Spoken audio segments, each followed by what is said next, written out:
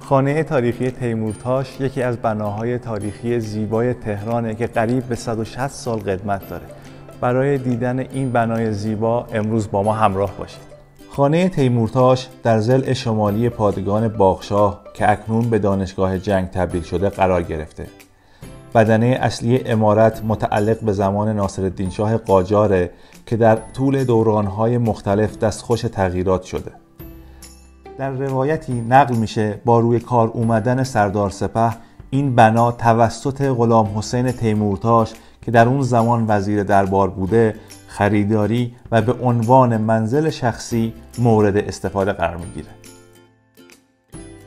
در معماری امارت تیمورتاش می‌توان تلفیقی از سه نوع معماری ایرانی، روسی و هندی رو مشاهده کرد. گچبری ها، آینکاری های چشم نواز و ارسی های رنگی که نمادی از معماری ایرانی و پلکان چوبی که نشانی از معماری روسی داره خودشون رو نشون میدن.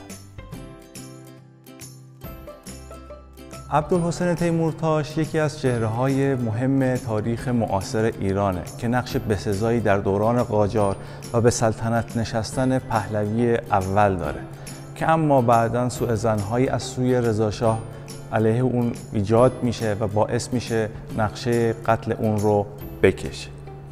تیمورتاش قدرتمندترین چهره سیاسی عصر پهلوی بعد از رضاشاه بود و نقش مهمی در سیاستها و تصمیمات پهلوی اول داشت. و اگر تلاش های او برای روی کار آمدن سردار سپه و برکناری قاجارها نبود شاید رضاشاه به این آسانی ها نمی‌تونست تکیه بر تخت سلطنت بزنه. گفته میشه تیمورتاش نیز مثل بسیاری دیگر از چهره های مخالف حکومت توسط پزشک احمدی که به جلاد رضاخان معروف بود با آمپول هوا به قتل می‌رسه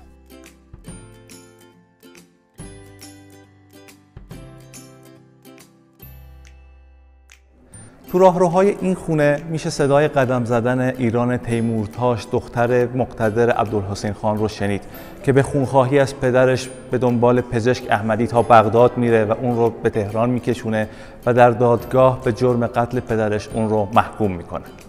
ایران تیمورتاش که روایت زندگیش در بخشی از کتاب سزن مسعود بهنود اومده در این باغ و امارت زندگی می‌کرد. زنی که بعد از پدر هرگز وارد دربار پهلوی نشد. در حال حاضر از این خانه تاریخی به عنوان موزه جنگ استفاده میشه. در طبقه اول این بنا می‌تونیم سلاح و ادوات جنگی ببینیم که به دوره های صفویه و قاجار و پهلوی تعلق دارند. این ادوات از سازه های کشورهایی همچون آلمان و انگلستان و شوروی و ایتالیا اینجا گرد هم اومدن. از جمله برخی از اونها میشه به باروددان، زربین نقشخانی، دوربین جنگی، هفتیر، کود، مسلسل و موشک های آرپیجی اشاره کرد. سردیزهایی از شهدای مشهور ایران از قبیل عباس بابایی، ابراهیم همت و سرلشکر فلاحی در طبقه دوم قرار دارند. در زیرزمین خانه تیمورتاش آبنباری قدیمی واقع شده که اون رو با نورپردازی جلوه دیگه دادن. خانه تاریخی تیمورتاش در سال 1383 در فهرست میراث ملی به ثبت رسیده. این بنا واقع در میدان هور خیابان دانشگاه جنگ میدان دانشگاه جنگ در روزهای دوشنبه از ساعت 14 تا 18 و جمعه ها ساعت 9 الی 17 پذیرای گردشگران می باشد.